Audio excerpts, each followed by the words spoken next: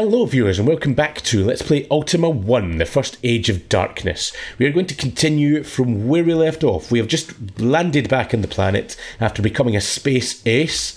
Um, we are now going to venture to a castle in order to rescue a princess who will hopefully be able to help us work a time machine.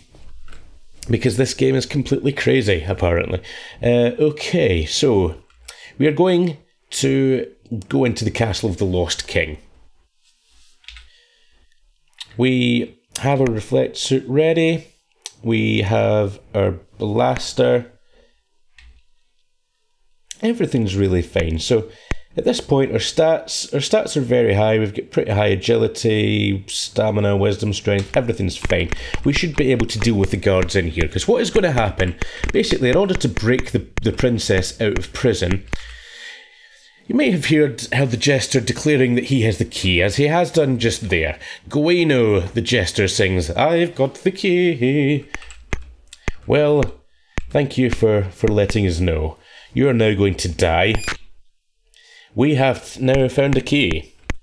Unfortunately, we have not made friends with the guards of the castle in doing so. So we are going to have to kill the guards to get through here. Fortunately, at this point in the game, we should be just about strong enough to deal with the guards. Now, hopefully... Ah, this time it is not the correct key that we have been given. This is one of the dangers. Normally, when you take the key from the jester, it will be the correct key for the lock that the princess is in. In this case, it is not. We're going to leave and come back in. Let's try this again. Jester, come here. You may have fooled us with the key the last time, but this time, hopefully we have the right key.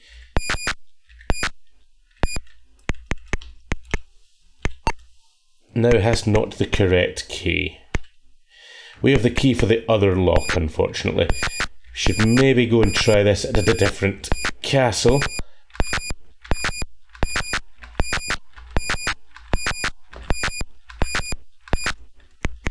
This is another one of those things that is just purely down to your luck in this game.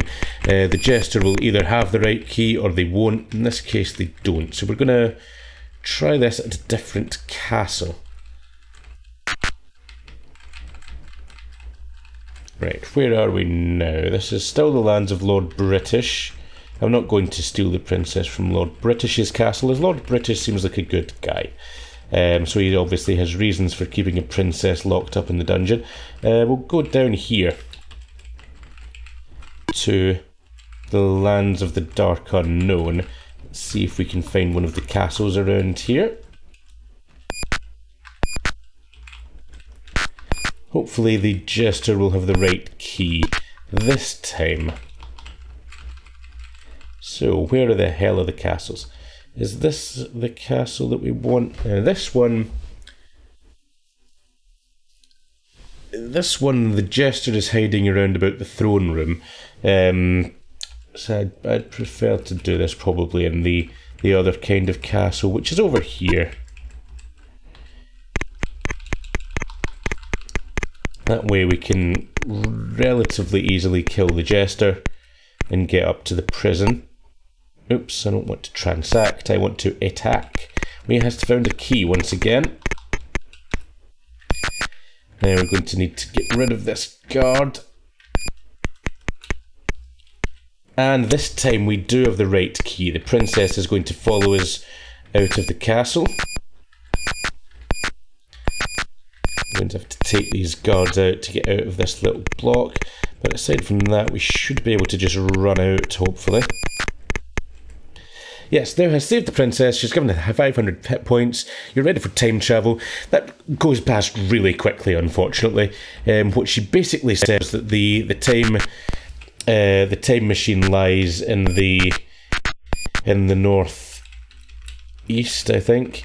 Uh, we'll, we'll we'll head up. We'll head north anyway. I'm assuming the time machine always lands in the same place, in which case I do know where it is. Um, so we'll head up here.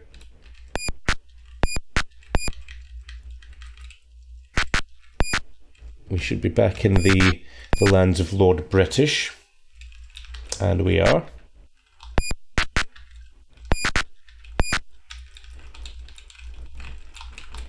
Now, before we use the time machine, I'm going to do one more thing.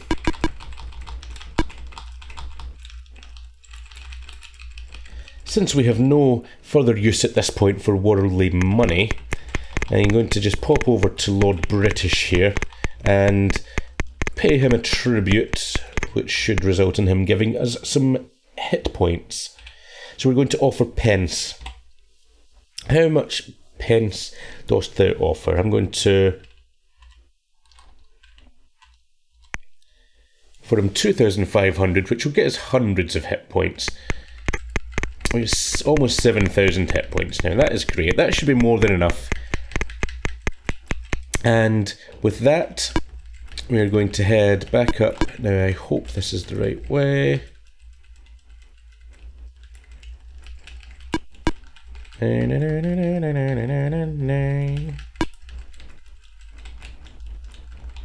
Okay, perhaps not. Let me just check this here. So we're going to have to find the, the time machine. Unfortunately, the text when you rescue the princess flashes up so quickly that you cannot possibly read it in time, and it doesn't stay up until you press anything. It just disappears after a, about a second. So we are just going to have to work out where the time machine is. Time machine should have appeared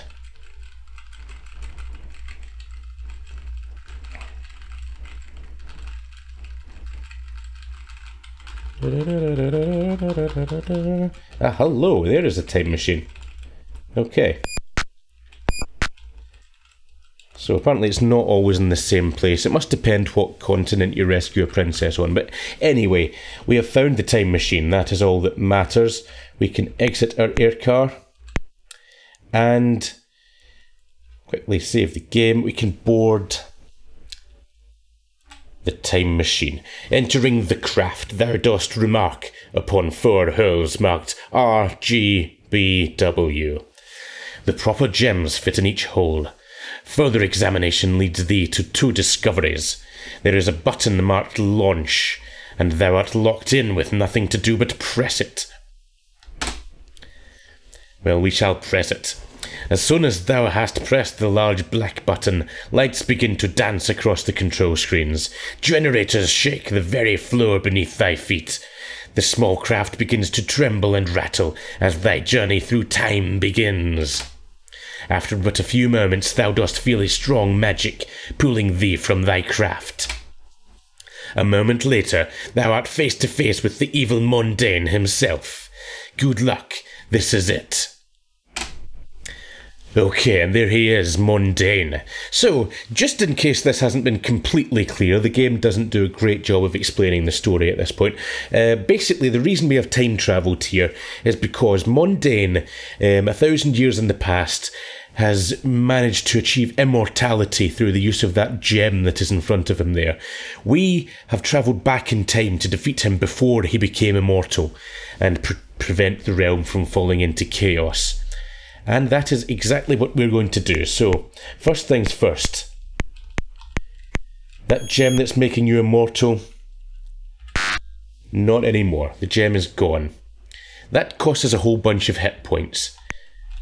But it means we can now kill Mondain.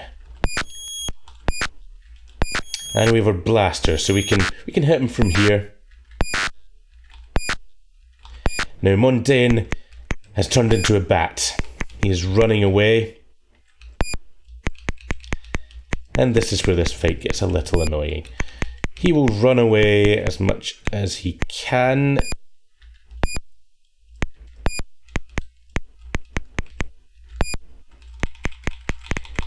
And he'll continue running away into the corners where you can't hit him, behind blocks yeah, you'll keep moving like that. So yeah, this is this is one of these frustrating battles.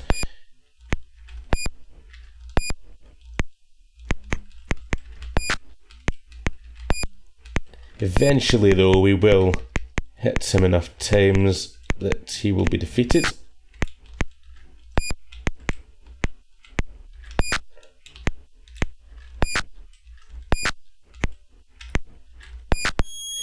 There, we have done it. Mondain is dead and thou art victorious. So if you if you, you can fight him before uh, destroying the gem, but if you do that, he doesn't die. He just slumps into a heap on the floor and then he'll get back up after a few turns. Um, so you're better off taking that out first. So, a rain of silver lightning heralds the death of Mondain. Fleeting glimpses of fate's avoided rush fates avoided rush through thy mind, as thy arcane power of the mage's dying scream echoes in thy ears. A thousand years pass in but a moment's time, as a strange sleep overcomes thee. Upon awakening, thou dost find thyself in new surroundings. A stately youth in violet robes helps thee to thy feet, whereupon thou dost see the thousands who gaze upon thee in adoration. Thy selfless heroism hath saved your people, my worthy one. Should our gratitude alone not be enough to sustain thee, know that I, Lord British, hereby ordain that the entire realm of Sosaria be at thy service for all time henceforth. So let it be done. And that is it. Viewers, the game is com complete. There's not even a way to, to exit the game at this point. It literally says press Control Alt Del to restart. So that is where we're going to be ending Let's Play Ultima 1. But that was that was quite enjoyable. I quite like that game. It's a very simple, um, a very simple RPG by modern terms.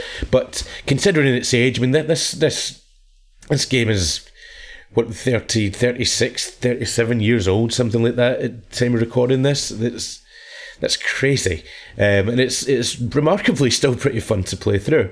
Um, it's I'd say very difficult to do if you don't happen to know the way through the, the game. It, it doesn't really explain itself very well at times, um, and quite often it's not great at kind of pointing you towards what you're actually supposed to do next. But um, with a bit of perseverance, you can you can get some hints and tips from the taverns. We tried a few times throughout the play out and unfortunately didn't get very much. But um, if you have a little bit more luck than I did, the the taverns give you a little bit of bits of clues as to what you're supposed to do, and obviously the kings that you do the quest for will give you some advice um, as you work through as well. So it's it, it kind of points you in the right direction, although it's not entirely obvious at times how to proceed. But there we go. We have we've completed it. Um, possibly the strangest thing about this game is the way that you you have to basically grind in order to to get your health points and your your your attributes and that kind of thing up. It's a bit um, a bit different to what we'd expect in a, an RPG these days, but um, yeah, for what it is, it's a it's a fun little game. It's an introduction to the world of Ultima. Um, a lot of this stuff gets somewhat retconned in the, the later Ultima games, but uh, they do reference it in some kind of subtle ways as well. So um, it's an interesting starting point if you are interested in the Ultima series. It's probably a better point, uh, a better starting point to the Ultima series than Akalabeth. Um, which some people consider to be Ultima Zero. I wouldn't personally bothered with Akalabeth other than maybe having a, a wee quick look at it. Given that it is a free game, Akalabeth, I would check that out maybe just as a point of interest, but I wouldn't spend too much time on it. If you want to really experience the early Ultima games, this is where I would start. Um, it's definitely definitely a reasonably playable game. There's plenty of guides online if you are if you do get stuck. Obviously, you can you can watch these videos and these can serve as a bit of a walkthrough as well in terms of how to proceed. But um, yep, um, at some point, we will no doubt be moving on to Ultima 2, but for now, that was Let's Play Ultima 1, The First Age of Darkness. Thank you very much for watching. I hope you have enjoyed the series. Um, if you have, give us a like, leave us some feedback in the comments, and subscribe if you want to see more of this kind of content in future. Thank you once again, and I'll catch you next time. See you later.